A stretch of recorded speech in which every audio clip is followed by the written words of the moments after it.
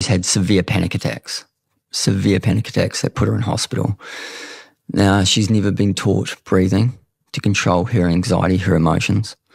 Okay, and it's taken a while for her to come to me. So she enrolled in university, had to leave university to come home because it was too much. So we regulated her breathing rate, breath rate, got her in a functional breathing state to downregulate. We give her some breathing exercises to downregulate the CO2, build more tolerance to the CO2.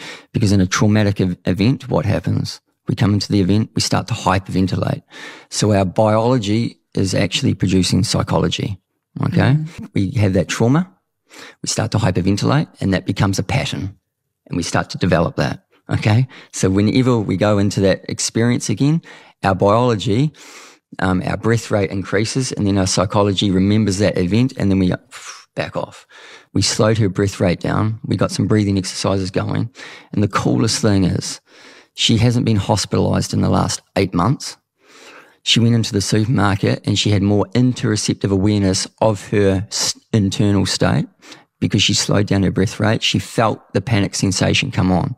She removed herself from the supermarket. She was with her friends. She sat in the car. She said, we've got to do our breathing, down regulated and had more confidence to go into that situation again. Amazing. And that's just by mm. taking control of her breath, not by taking medication. And she's been taking medication for four to five years.